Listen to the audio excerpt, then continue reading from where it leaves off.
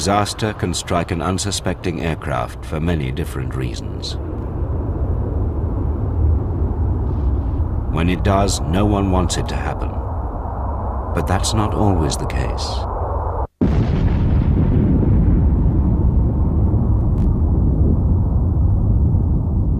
Some incidents that air investigators are called to solve turn out to be deliberate. These are the disasters that someone, somewhere, wanted to happen.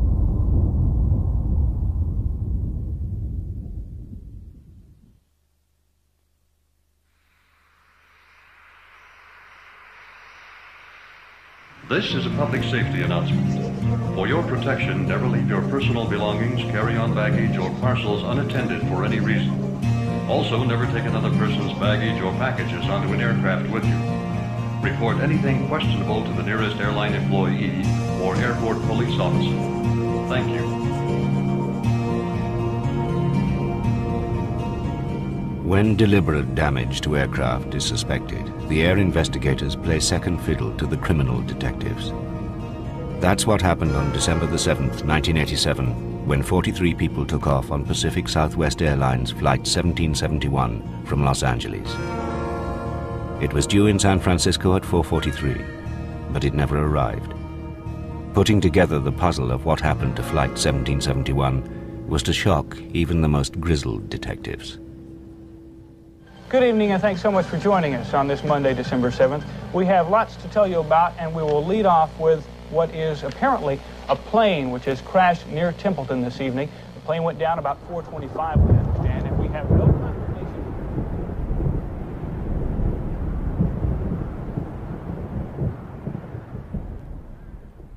Well, I'm the uh, sheriff, coroner, and marshal of San Luis Obispo County an area of 3,300 square miles.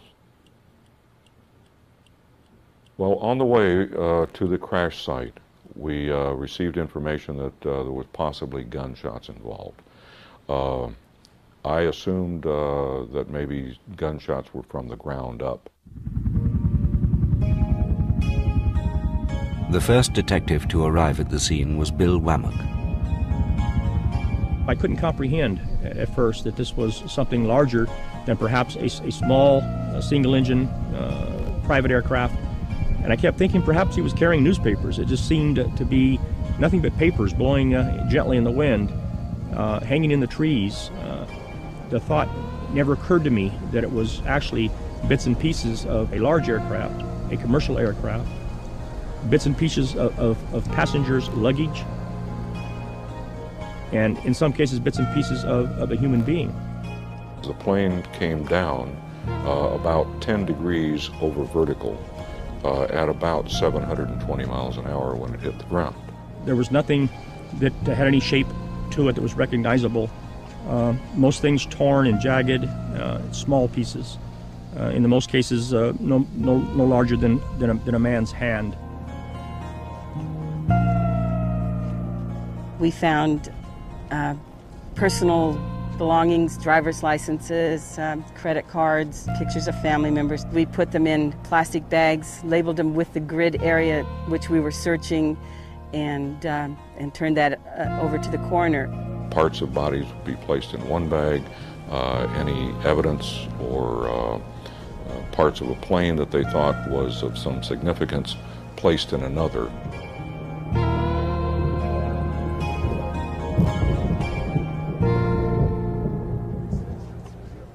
On the second day of the search, investigators made a vital find. Amongst the millions of tiny pieces of wreckage was what looked like the trigger and barrel of a handgun. On the morning of December 9th, a, an FBI agent located that gun in the tree area behind me, uh, and I was at the time standing at that tree. Uh, he brought it to my attention without disturbing it. I stepped over to where he was located and we did confirm uh, uh, that it was a what appeared to be a 44 Magnum uh, stainless steel handgun. But who did the gun belong to?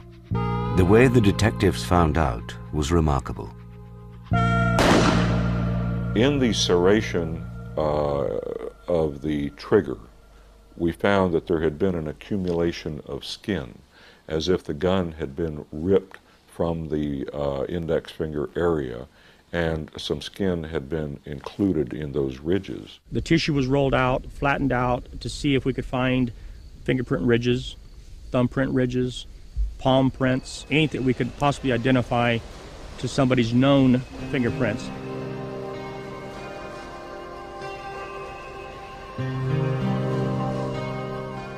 Meanwhile, the FBI had been checking the passenger manifest of those who'd boarded Flight 1771. On that list was a man named David Burke, whose fingerprints were on file.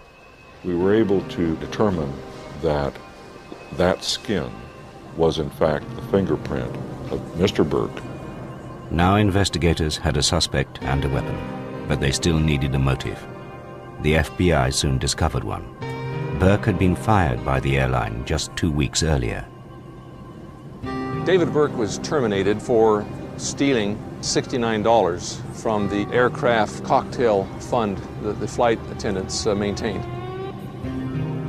He appealed his termination and had a hearing scheduled on December the 7th, which is the day of this incident. At 2 p.m. in the afternoon before Ray Thompson, uh, who was his supervisor. And at that time, David Burke learned that his appeal was not uh, being granted. As he left the office, the secretary to uh, Ray Thompson at the time uh, remarked to David Burke, uh, in an effort to ease, I believe, the tension that was in the office, Will David have a, a good day, or words to that effect. And he paused upon leaving and looked at her and said, I intend to have a very good day.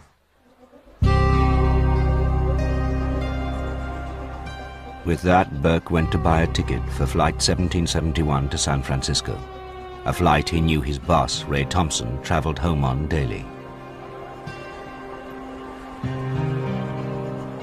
And with his ticket in his hand, Burke went off to get his gun. David Burke smuggled the gun on the aircraft using his uh, identification as an airline employee to circumvent uh, the security and allow him entry into the secure area with a, with a weapon. And that identification was found at the scene of the crash. This is the kind of gun used by Mr. Burke uh, that he took on the airplane and fired it in a very confined place. Uh, this is a 357 Magnum. He used a 44 Magnum, but in all other respects, uh, they're exactly the same.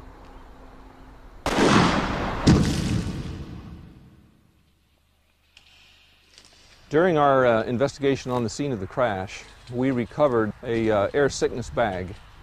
And on that bag was written a note, obviously addressed to Ray, we believe Ray Thompson. I was startled by that because things were blowing all over the place, as I said, seven, eight miles away in a very large area. And we had what appeared to be millions of pieces of paper out there. And the note uh, we have determined, the laboratory, the FBI Identification Division has determined was written by uh, David Burke. The letter or the note said, Hi, Ray. It's kind of ironical, isn't it, that we end up like this? I asked for leniency for my family, remember? Well, I got none, and you'll get none.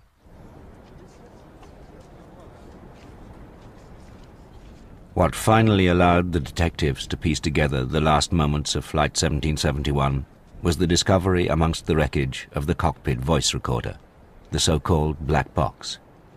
After overnight analysis in Washington, the tape was rushed back to the crash site. When we got the tape back uh, from the contents of the black box, uh, I was out on the scene and we found a car that had uh, a tape player in it. So several of us, uh, the head of the FBI and others, uh, sat to see what had happened in that cockpit. Through the analysis of the um, voice recorder, we heard the door to the restroom right next to Ray Thompson uh, open and close just seconds before the first shots were overheard. We believe that Ray probably received the note from David Burke as David Burke went to the restroom and that he then came out of the restroom with his revolver unsheathed and that he immediately shot Ray Thompson. The next thing that you could hear on the tape was uh, the a door opening and a, a female voice saying something to the words of there's a problem. You could hear either the captain or the co-pilot ask what the problem is. You could hear another male voice say something to the effect of, of I'm the problem. And then there are additional gunshots. The conclusion that we've come to is that Mr. Burke entered the cockpit and executed both the pilot, the co-pilot. And then there is the sound of the plane increasing in speed as it's heading toward the ground.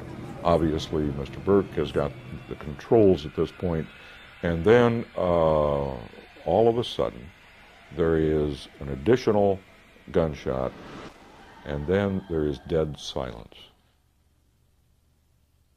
I, I can't imagine uh, being a passenger on that airplane, knowing that this man had just fired a shot, and then knowing that you're hearing another shot, and then knowing that the plane is going down, and, and you have no time to even to even lean over to your loved one and say, "I love you." From the time the first shots were heard until the time of impact of this aircraft hitting the ground, approximately 47 seconds elapsed.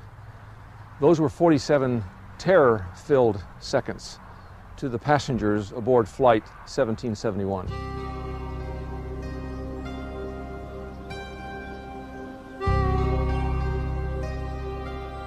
This entire incident uh, took place because Mr. Burke was fired for stealing $69.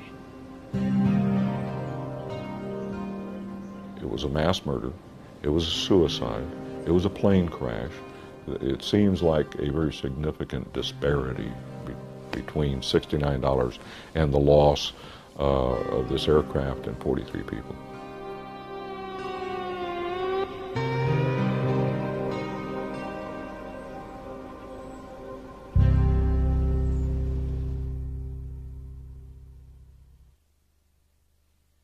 Can you just bring your arm around? Yeah.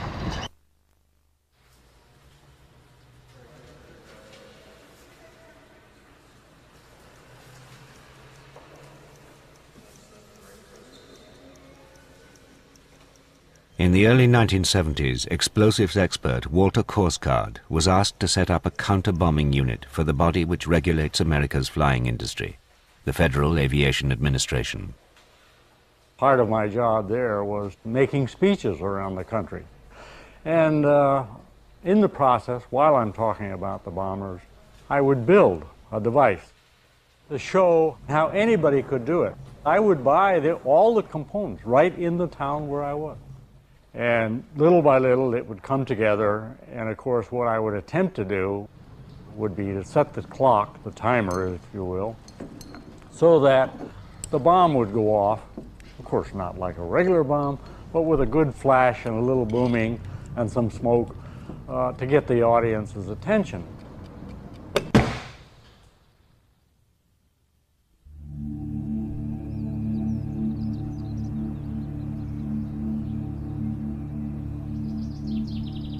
In the late 1980s, Walter Korsgaard was to be a key figure in solving the puzzle of one of the most enduring tragedies in civil aviation. On December the 21st, 1988, a Pan Am 747 came down over the small town of Lockerbie in Scotland.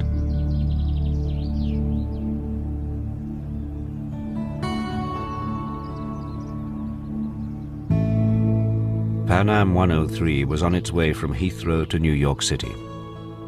As it reached its cruising altitude of 31,000 feet, a bomb the size of a sugar bag blew the jumbo jet from the sky.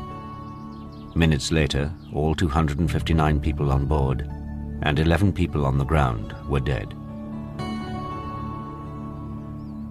No suspect has been tried for those murders. The question, why not, is the one most despairingly asked today. But that wasn't the first question facing investigators a decade ago. At four o'clock in the morning, uh, I got this phone call. The instruction was to uh, go to the scene at Lockerbie and use my experience and knowledge to try and uh, uh decide whether this uh, crash was accidental or whether, in actual fact, it was the result of a criminal act. The debris and carnage caused by this accident stretched for 800 square miles and in fact, two separate trails of debris were determined during the investigation. These trails had a gap of between two and three miles between them.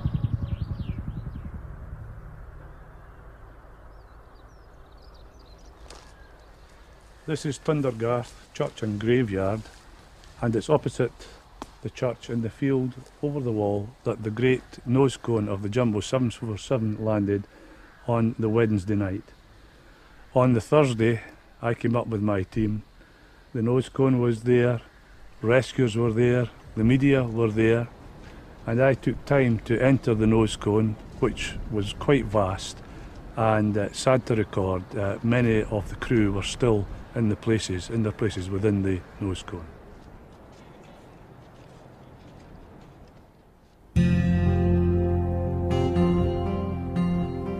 In Lockerbie, speculation was at fever pitch. How could a jumbo jet just fall out of the sky? Was it accidental or deliberate? The 747 was old, one of the first to be built. It had flown 72,000 hours and completed over 16,000 flights. The fear that a structural failure of the world's largest airliner was responsible for the carnage in Lockerbie played on the minds of detectives and air investigators arriving in the traumatized town. The scene that greeted me on arrival at Lockerbie was the most harrowing scene I have ever witnessed. We were told, first and foremost, that that we were to search for bodies and we were to do it in a thorough and dignified manner. Secondly, we were then to search for personal belongings. And thirdly, we were to search for pieces of aircraft. Distressing as it was, the search for clues began with the bodies of the dead. The bodies were taken to a temporary mortuary in the town, where a team of pathologists waited to examine them. It is essential that you investigate the bodies, you look at the bodies thoroughly to pick up clues, perhaps even trace evidence of what actually happened, and from that, helping to reconstruct what actually took place. For example, if somebody was in direct contact with the bomb or very close to it, there might have been primary missile injuries. Bits of the bomb, actually bits of the bomb, bits of the circuitry perhaps, would have been embedded in people who were sitting in the seats above the bomb or sitting close to the bomb. But the examination of the bodies gave up no clues, and the frantic search for evidence now turned to the aircraft debris. This is the home territory of air investigators worldwide, and within 24 hours of the destruction of Pan Am 103, British air investigators had been joined by their American counterparts. Among them was the Mr. Bomb of air investigation, Walter Korsgaard from the Federal Aviation Administration. First day he arrived, he was dressed in yellow oilskins. Day one, day two, day three, Walter always arrived on scene with the yellow oilskins on. As a result of that, he was affectionately called the Banana Man. During a lifetime of searching for and testing out explosives, the Banana Man has blown up more aircraft than terrorists, blown himself up, and been deafened in both ears. The moment he set foot in Lockerbie, he wanted to brief the search crews on the telltale signs of bomb damage. But this was a sensitive suggestion to the investigation manager he approached. Politically, he didn't think it was a smart idea to start talking about bombs too early because if it occurs uh, and the UK government is responsible for the screening, this could be a problem. So he said, well, I, would rather not uh, do that just now. And of course, as soon as the meeting was over, all the supervisors that were going to run these search lines got me off to one side and said, um, hey, what are we really looking for? And I said, uh, well, you know, you come down to the room and we'll uh, go over it. So we ran a little private seminar.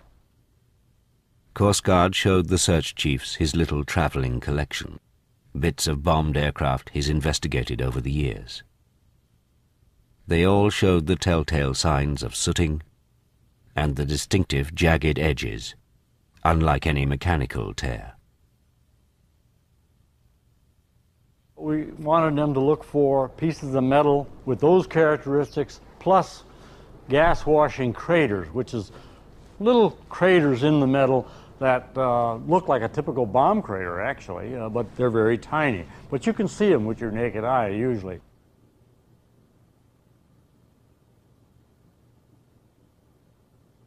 Mr. Korsgaard was to be a godsend because with his knowledge of damage to aircraft, etc., I decided that when I was out in my scientific team, he should be a member of that.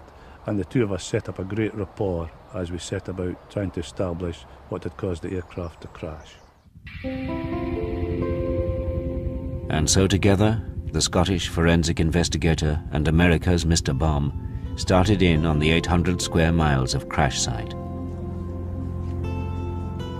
That search would become one of the most thorough in the history of aircraft investigation. It was also one of the luckiest. On about the third day after we arrived at the incident, one of the individuals on one of the search lines uh, brought in a uh, piece of fuselage skin, uh, which was precisely what we were looking for. It was a piece of skin, oh, perhaps uh, 20 inches long, maybe 8 inches high, uh, and it was bent toward the front of the airplane and had stayed there rather than bending back. If it were a mechanical breakdown of the airplane, pieces will splay out just like in an explosion, but they fold back in. In this case, with a bomb, it won't happen that way. When you think about it, the airplane is flying at 33,000 feet. It's probably 30 below zero or colder, and yet here it is hit by a bomb and the ball, the fireball, at about 5,000 to 8,000 degrees Fahrenheit, and it swings out into that cold air and it freezes there, you might say. And just as with Korsgaard's collection, that vital piece of Pan Am 103 had the sooting, the jagged edge, and the gas washing craters the telltale signs of explosion. At this point, on day three, Walter Korsgaard and myself knew without any shadow of doubt that we were now dealing with a criminal act rather than an accidental crash. We took that uh, piece of metal directly to the individual in charge of the overall management of the incident and explained to him that uh, if he had it tested by a lab, he would surely find that it was in fact evidence that there had been a bomb on Pan Am 103. Some pieces of wreckage are today being taken to the Royal Armament Research and Development Establishment at Fort Halstead in Kent for more detailed examination to determine whether they exhibit evidence of a pre impact explosion. And they flew it down to the lab at 9 o'clock that night we got the word back that there were explosive residues and they were gas washing craters that we were looking at, and the jagged edge was positive proof. The destruction of Pan Am 103 was immediate, the devastation total. But contrary to popular belief, Pan Am 103 was statistically unlucky. Yeah, most people think that uh, any size bomb in an aircraft uh, will probably bring it down. Actually, if you look at the record, three quarters of turbine powered aircraft, that is pure jet airplane, survive bombs. And that's, a, that's historic. So, how was it that Pan Am 103 was blasted into a million pieces? To find out, the investigators decided to blow up some aircraft.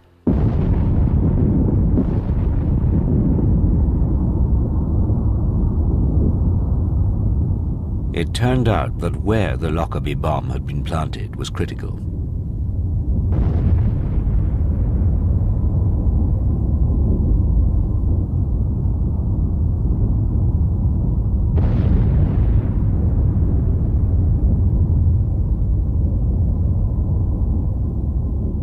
The tests revealed that the forward cargo hold, where the Lockerbie bomb went off, is a particularly sensitive area in wide-bodied jets. The way the 747 is designed, I believe, makes that airplane most vulnerable to a bomb in the cargo hold. For example, there's tremendous space between the outside walls of the uh, uh, cargo hold and the cargo containers themselves. And these spaces allow gases to travel and do damage in places where in another airplane they couldn't do that type of a job. This bomb was not placed in that airplane specifically in a given slot. It was randomly put in the airplane. It probably ended up in the worst possible place in the baggage hold.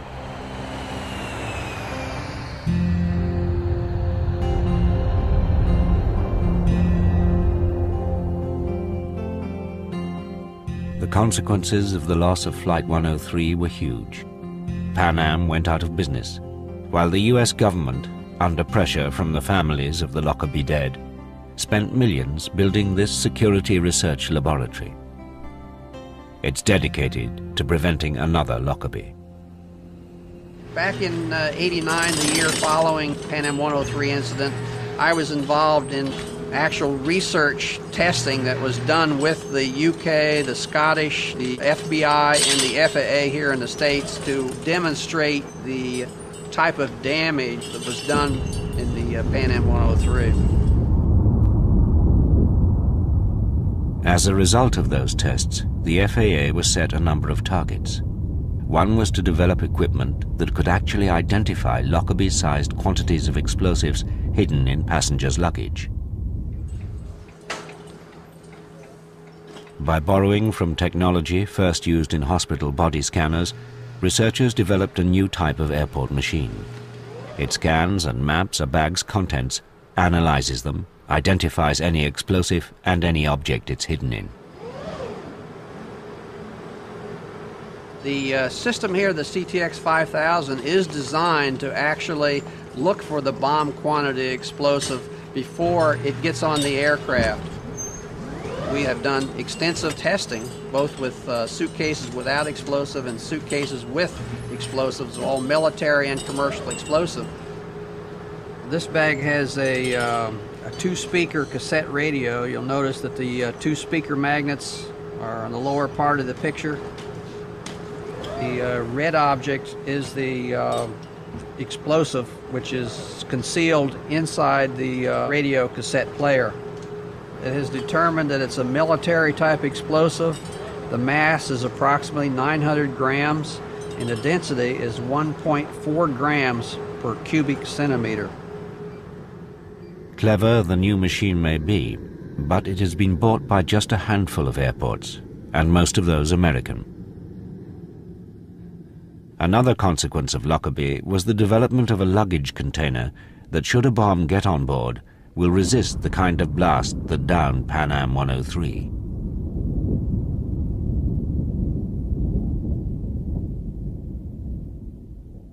This is an LD-3 container, which is used in nearly all wide-body aircraft and indeed in the 747 like Lockerbie.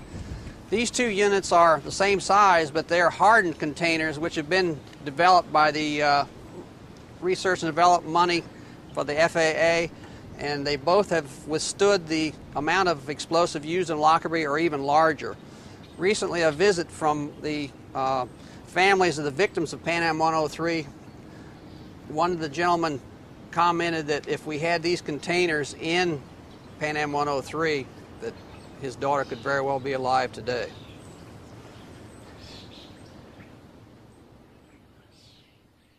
But blast-resistant containers are not in use even today. So far, they are simply prototypes.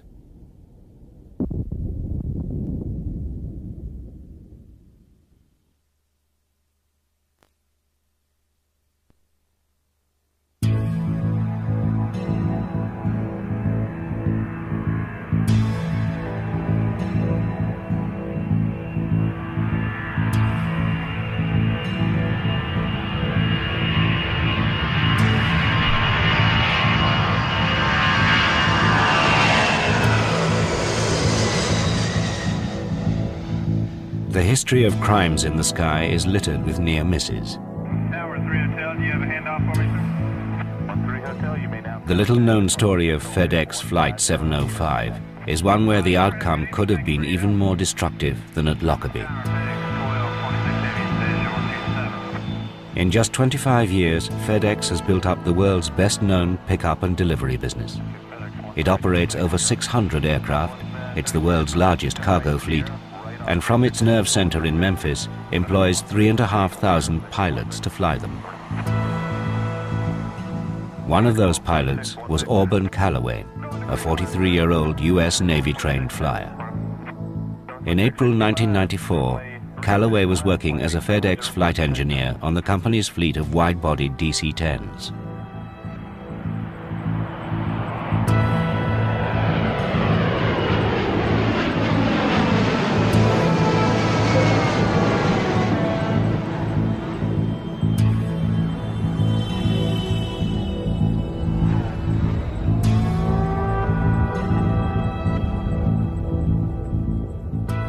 Richard Boyle is a Vietnam veteran who has flown for FedEx since it first took off 25 years ago. In April 1994, he was Auburn Calloway's captain. They flew together on long-haul flights across the states. Well, Auburn didn't have a good reputation of the company because he, he just rubbed a lot of people the wrong way. Uh, I think it might have been first impressions. My first impression of Auburn wasn't a positive one either but once I got to know him, we got along fine. But uh, uh, many, many of the captains did not like to fly with Auburn. Calloway was not only unpopular, he was also under investigation. FedEx believed Calloway had lied to them about his Navy flying time. Calloway believed FedEx were out to get him because he was black. He felt that he was being persecuted by one of our flight managers. He, he felt it was a personal vendetta. And that's one thing FedEx will not tolerate has someone lying uh, uh, regarding their, their credentials. So if he lost his job at FedEx, he would never get hired by another major air carrier. I mean, his aviation career with any good company was basically over.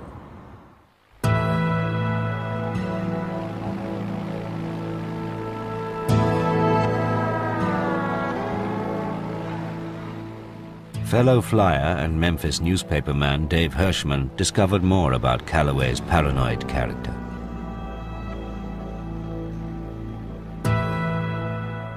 During the time that he was in the Navy, he kept a book of all the slights and all the indignities and every perceived injustice that anyone had ever perpetrated against him. And he kept that book, he kept that, that the little black leather-bound book and added to it um, on an almost daily basis.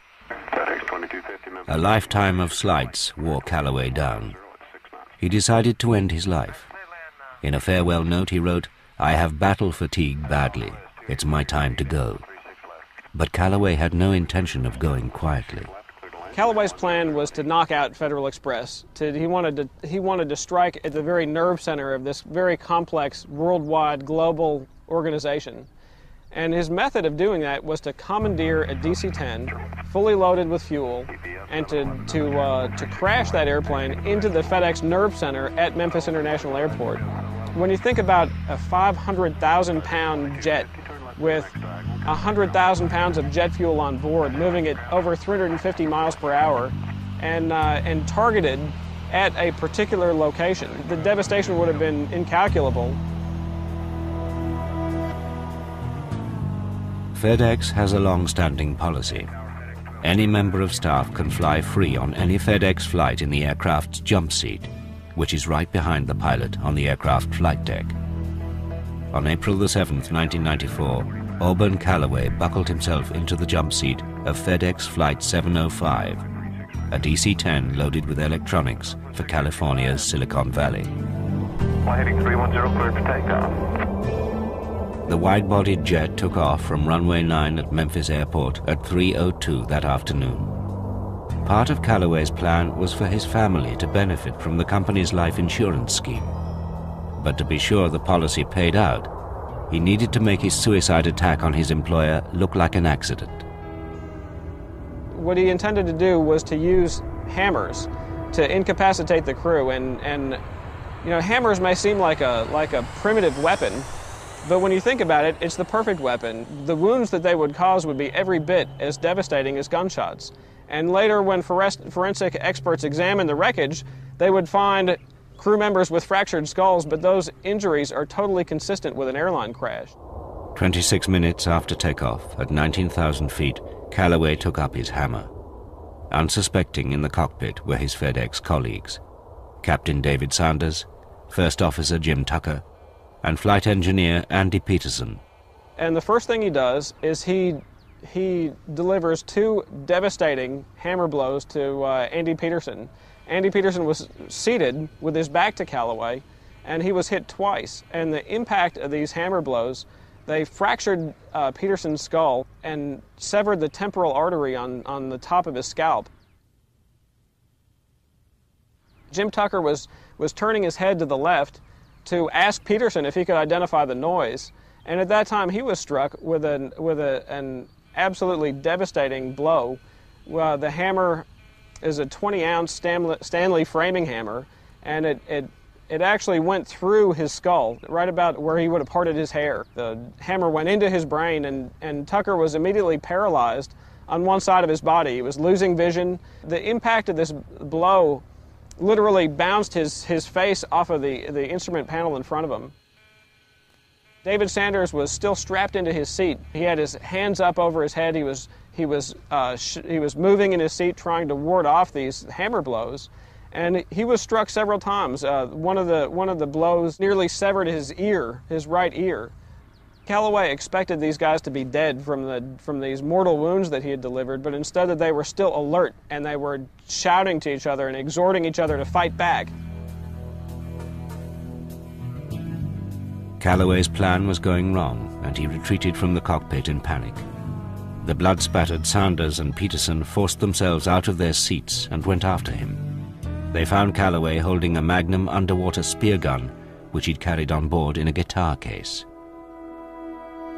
The spear gun was his trump card, and he pointed it at Sanders, the captain, and he said, This is a real gun, I'll kill you. And he, and he implored them to cooperate with what, with what he was doing. It was at, at, this point that Tucker took the most extraordinary action. Tucker had enough presence of mind to take the aircraft with one hand and almost turned it upside down, which threw everyone in the back on top of Albert Calloway, which gave them a little bit of an advantage.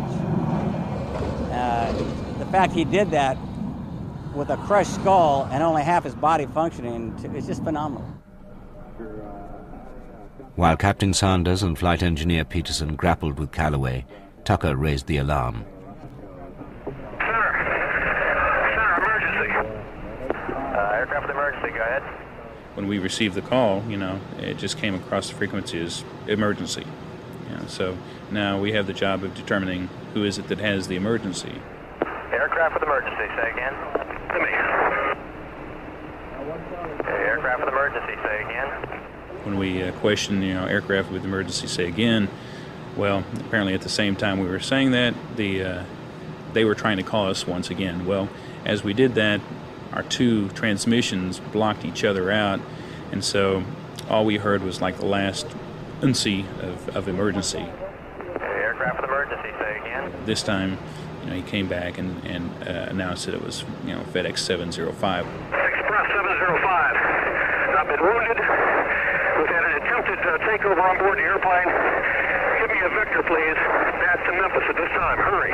Last one we would have expected the emergency to come from was probably the FedEx plane. Express uh, 705, flying 0905, direct Memphis. A minute or so went by, and then uh, I got another call, and it said, uh, "Where's the airport?" where's Memphis? Express 705, uh, flighting of uh, 090 and uh, the airport's at 43 miles, 12 o'clock. I said, it's 12 o'clock and, you know, so many miles. And he said, what direction? Same my direction to Memphis. Wait a second, you know, what direction? You know, he was westbound heading for California and, and uh, now he's pointed back at the airport and he didn't know what direction he's flying. Uh, Express 705, you're uh, eastbound at this time and it'll be about uh, 12:31 o'clock.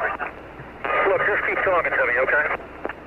Jim Tucker is using this aircraft as a weapon, and uh, he's flying it in, in, a, in, a, way that it's never been flown before. But the purpose is to, to, uh, to let the crew have the upper hand. He assures them that he has control of the airplane and that they should get up and resist in any way that they can.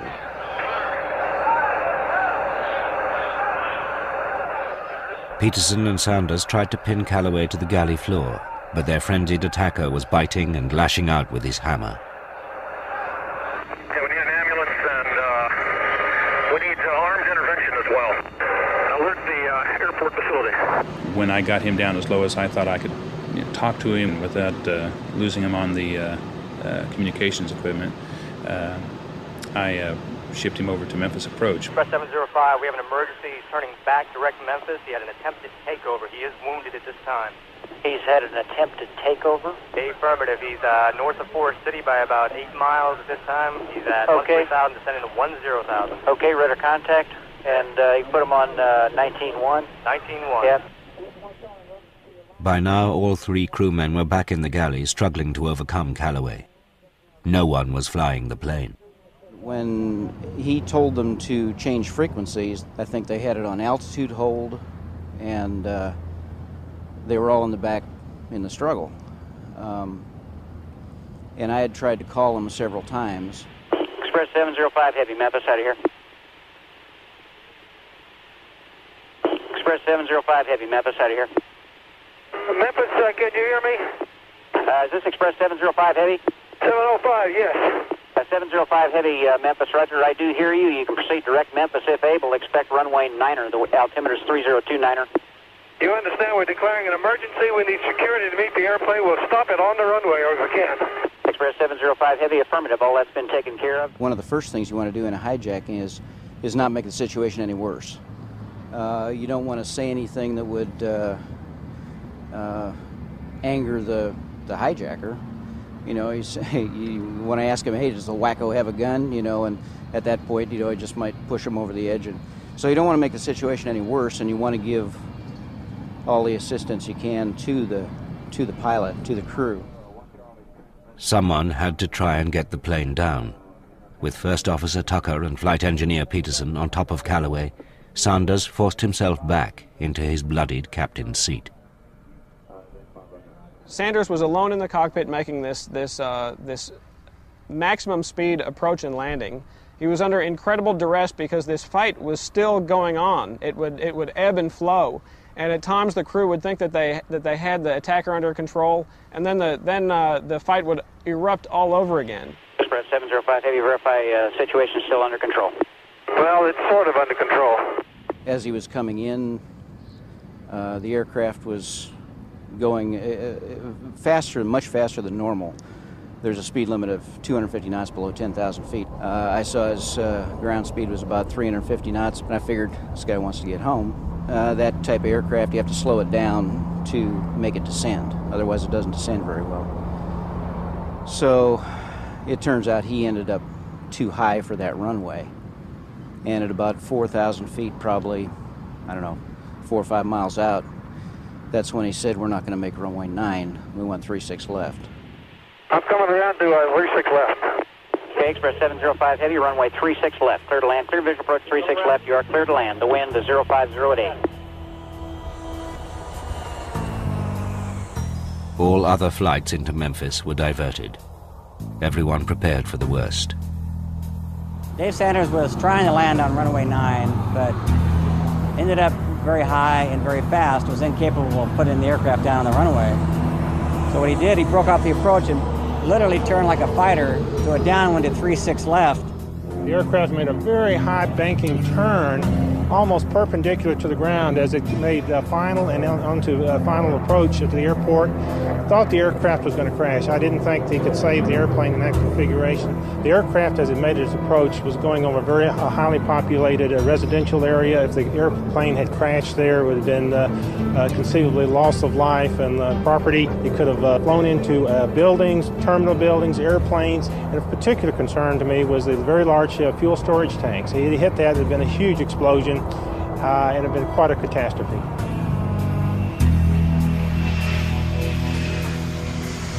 Pilot made a beautiful recovery, landed right on the runway, hit very hard, slammed on his brakes, and came to a complete stop.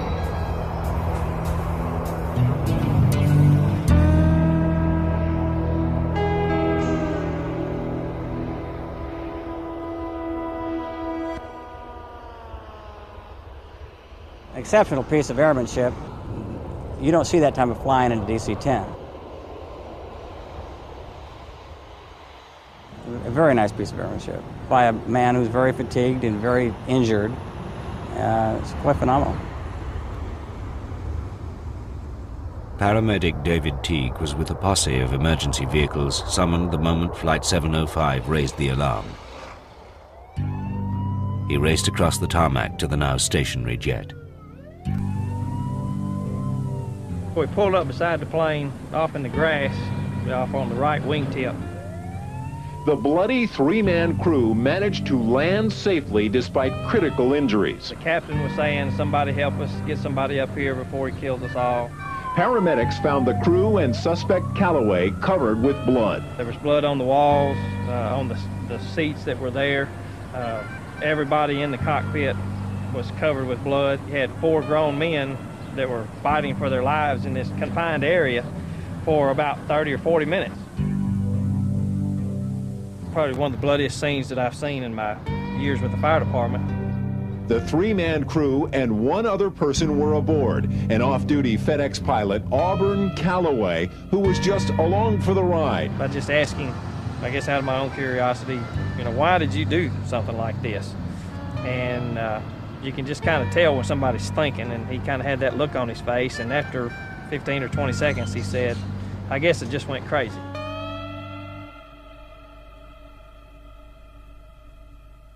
Auburn Calloway was jailed for life.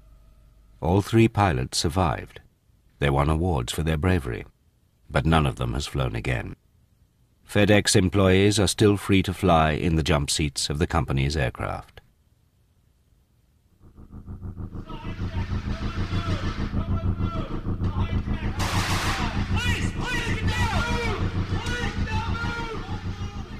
The number of hijacks and bombings throughout the 1980s sent shivers through the aviation community. Something had to be done. In America, President Reagan set up an extraordinary flying security service to protect American lives in the air.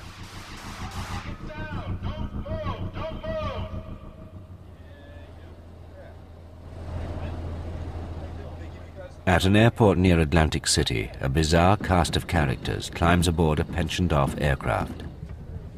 The men behind the masks are U.S. federal air marshals. They insisted on hiding their faces from our cameras. There are about a thousand of them. They are armed and they travel as normal passengers on U.S. flights around the world. You could be sitting next to one and you'd never know.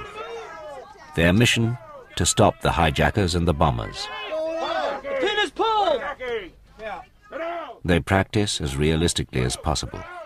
Here, trainee marshals are being tested. They've got to pick just the right moment to shoot the hijacker, while making sure they don't hit a passenger. I told you not to look at me! Be quiet! I'll put you out of your misery! Okay. Don't move! Good. Ah, ah. In the last 10 years, there have been no attempts to bomb or hijack American passenger aircraft. The air marshals believe that's probably down to them.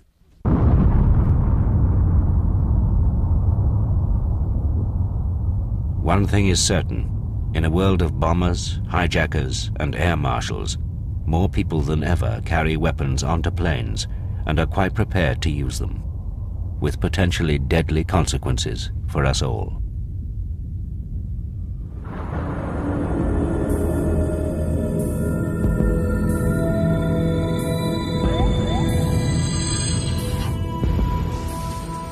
The Channel 4 video black box is available.